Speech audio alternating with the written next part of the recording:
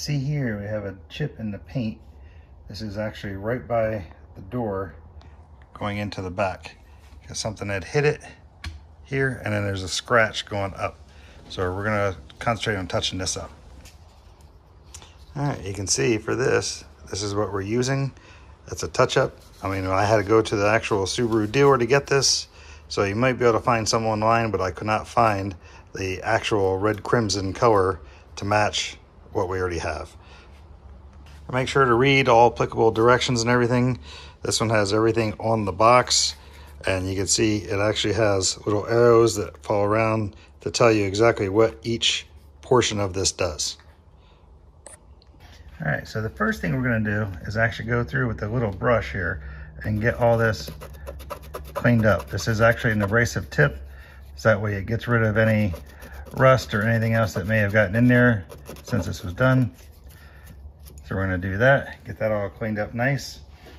And now I'm gonna get an alcohol wipe. All right, get that all cleaned up. So now we're gonna get the alcohol wipe in here to get any residue cleaned up from around this. All right, and I have basically a lint-free microfiber cloth to clean that off because you don't want any residue left on here so rubbing alcohol would work also, but I have these isopropyl alcohol pads, so that's what we use for this. All right, next we're gonna get the little touch-up tool and start some paint application.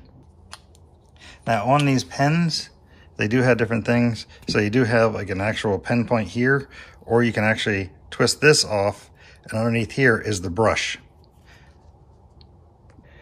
All right, now we're gonna try to do this very gently. A little bit of touch up here just to kind of mark it.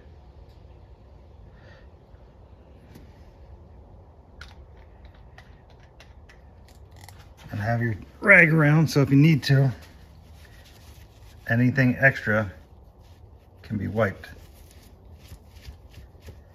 I wasn't happy with that, so we're just gonna wipe that off and start over here.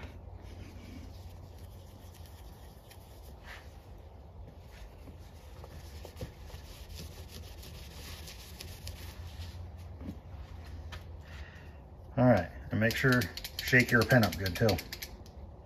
All right, we'll try this again.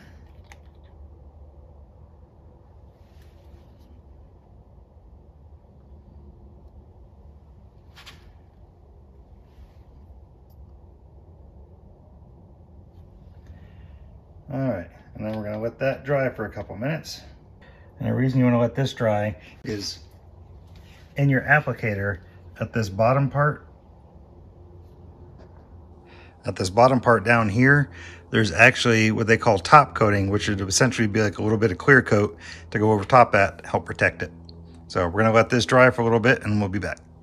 And now is a good time while we're waiting for this to dry, go ahead and check other things out, like, you know, pull the spare out of the thing and check to see the air pressure, make sure everything's still good on it.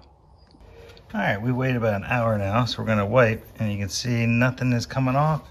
So we are dry now is going to be the next step where we got to actually put this bottom part on. All right, so we got this screwed in here and loose. So now we pull this out, you can see the tip.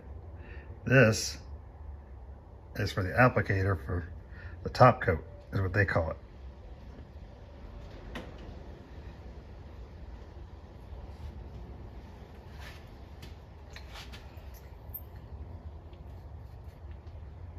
All right, and this could have probably been done a little bit better by a professional, but I think it's gonna come out pretty good. Because if you look at it from here, you're zoomed in really far. But if you come back at a distance and look at it, you can't even tell. So this is more for protecting, so that way we don't end up getting a rust spot here. But that's it. Now we just gotta let it dry before we take it out on the road and clean her up. And now as long as you've uh, cleaned everything up right, you can actually save this for a later date in case you need to touch up anything else. Like any more door dings like that.